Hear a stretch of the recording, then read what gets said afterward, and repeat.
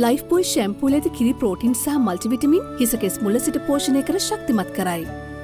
රජයේ අත්‍යවශ්‍ය බහණ්ඩ කිහිපයක ආනයනික බදු අඩු කිරීමට පියවර ගැනීමත් සමඟ ආනයනික ලොකුලුණු කිලෝග්‍රෑමයක මිල රුපියල් සිය දක්වා පහත දැමුණා. මේ හේතුවෙන් දේශීය ලූුණුගොවී ආරක්ෂා කිරීම සඳහා දෙදහස් විස්සේ මැයි හතරවෙනිදා නිකුත් කර ඇති අති විශේෂ ගැසට නිවේදනයට අනුව ලොකුලුණු කිලෝග්‍රෑමයක් රුපියල් සිය බැගින් මිලදී ගැනීමට රජය තීරණය කර තිබෙනවා. ගොවීන්ට පුළුවන් දිස්ත්‍රික් ලේකම්වරුන් විසින් නම් කරන ස්ථානවලට ගිහිල්ලා ඔවුන්ගේ අස්වන්න රුපියල් සීයක මුදලකට රජයට ලබා දෙන්න. අනුරාධපුරය පොළොන්නරුව මාතලේ සහ වෞනියාව කියන දිස්ත්‍රික්වල ලොකුලුණු මිලදී ගැනීම සඳහාපි මුදල් නිදහස් කල්ලා තියෙනවා. වෙනත් දිස්ත්‍රික්කවල මේ ආකාරය ගොවීන් සිටිනවන ලොකුලූුණු සම්බන්ධයෙන් ඒ සඳහා දල් ලබා දෙන්න අපි ආණ්ඩු හැටියට කටයුතු කරන සතොස්ස සභාපතිවරයට මම නියම කලා රුපියල් එකසිය තියේ මිනට දමුල්ලට ගොහින් ලුණු මිනදී ගැනීම ආරම්භ කරන්න කියලා. රුපියල් එකසිය තියේ මිනට අපි මුළු ලූුණු තොගේ මුණත් සතොසට මිනදී අර ඉට වඩා අඩු මිනට බෙදහැරීමේ කටයුත්ත කරන්න ඒ පාඩුව සතොස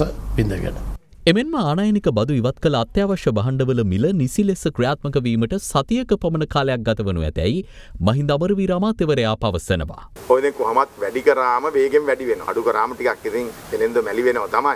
කොහොමත් සතියක් ඇතුළත සම්පූර්ණ නියම මිලට මේක ලැබෙන්න පටන්. මේ අතර චීනයේ නානයනය කළ පරිභෝජනයට නුසුදුසු ටින් මාළු කන්ටේනර් 25ක් වෙළඳපොළට නිකුත් කර ඇති බවට පැතිර ගොස් ඇති තොරතුර සම්පූර්ණයෙන් අසත්‍ය බව වෙළඳ අමාත්‍යංශය පවසනවා. කන්ටේන 25 කිසිසේත්ම දේශීය වෙළඳපොළට ඇතුල් වෙලා නැහැ. කන්ටේන 25 රේගුව බාරේ තියෙනවා ප්‍රතිඅපනයනය සඳහා. මේ අතර ප්‍රධාන පෙළේ වීමෝල් වලින් පාලන මිලටත් වඩා වැඩි මිලකට සහල් නිකුත් කරන බවට හොරණ සමූපකාර සංගමය චෝදනා කරනවා. ප්‍රධාන හාල්මෝල් හිමියන් 90ට සම්බ අපිට එවලා වෙනම ප්‍රවාහන ගාස්තුවක් හැටියට රුපියල් 7ක් අය කරනවා. කීරි සම්බයක 120ට අපිට එවනවා රුපියල් 5ක් ගන්නවා කිලෝ එකකට වෙනම ට්‍රාන්ස්පෝර්ට් එකක් හැටියට වෙනම ගන්නවා. ඒතකොට 125ක් බවට පත් වෙනවා කීරි සම්බ කිලෝ එකක්. ඒතකොට අපි කොහොමද ජනතාවට සහන සලසන්නේ?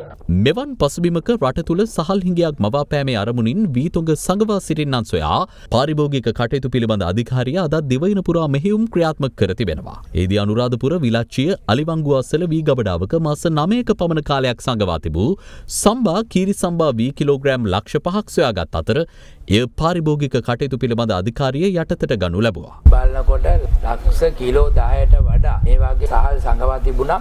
ඒක අපි පාරිභෝගික අධිකාරිය භාරයට ගත්තා. ඉදිරි දවස්වල අපි උසාවියට ඉදිරිපත් කරලා ඒ සම්බන්ධව කටයුතු කරන්න අපි බලාපොරොත්තු වෙනවා. හිරුගේ පළමු කිරණමෙන් රන්වන් බුද්ධි තිමත් සමකට.